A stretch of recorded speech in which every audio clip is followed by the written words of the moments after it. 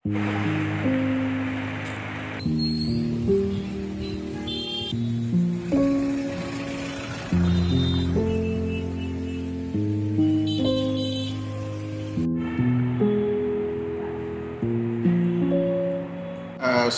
এই ক্ষেত্ৰত Covid pandemic যিটো পৰিস্থিতি তাৰ কাৰণে তেখেতসকলে যি ধৰণৰ নিৰ্দেশনা দিয়ে আমি সেই নিৰ্দেশনা মতেই কাম কৰি আৰু এতিয়া আমি তাৰ কাৰণে আমি আলোচনা কৰি আছোঁ।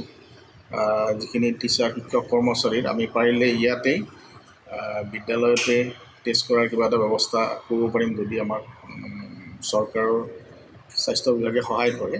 আৰু বাকী চেনিটাইজেশ্যন ল'ৰা ছোৱালী অহাৰ আগতে চেনিটাইজ কৰা হ'ব। ল'ৰা ছোৱালীক মাতাৰ আগতে। আৰু এই একৈছ তাৰিখৰ পৰা যদি আহিব দিয়ে চৰকাৰে যদি ফিফটি পাৰ্চেণ্ট ল'ৰা ছোৱালী বা ফিফটি পাৰ্চেণ্ট এটলিষ্ট বেলেগ নহ'লেও নাইন টেন ইলেভেন টুৱেল্ভ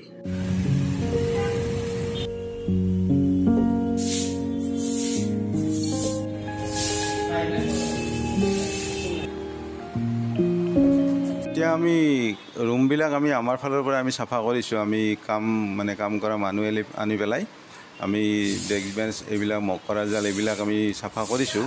এতিয়া চেনিটাইজেশ্যনৰ কাৰণে আমাৰ অলৰেডি আমি যোৱাবাৰ মেচিন এটা কিনিছিলোঁ আমি স্প্ৰে মেচিন আমি ঘাঁহ চাহত মানে ঔষধ দিয়াৰ কাৰণে।